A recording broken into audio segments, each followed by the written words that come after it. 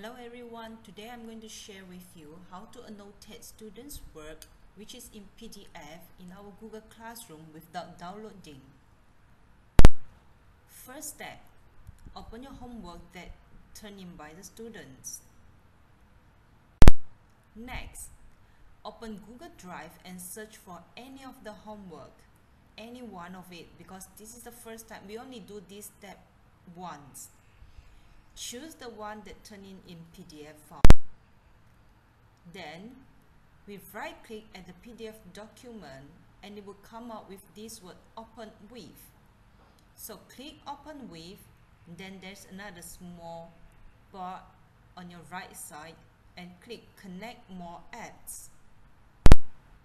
Now, you will come to this page.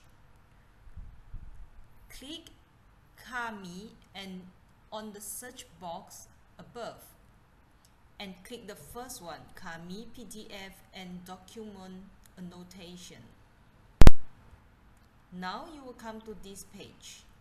Click install and install this Kami in your computer. Once it is done, please click X.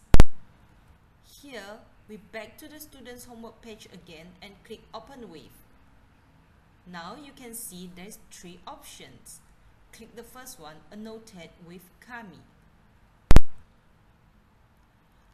After you click authorize Google Drive and allow, you will come to this page. The bar on your left, search for the word drawing, which it look like a pencil here.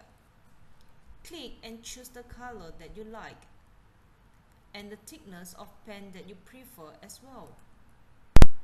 Next, you can start marking and then click Save on the top bar. Save now. Once everything done, you can close this page. And then we back to the student's homework page again. It will automatic and we click the word refresh and it will automatically refresh and you will see the changes now. You can return the work to the students. Happy trying!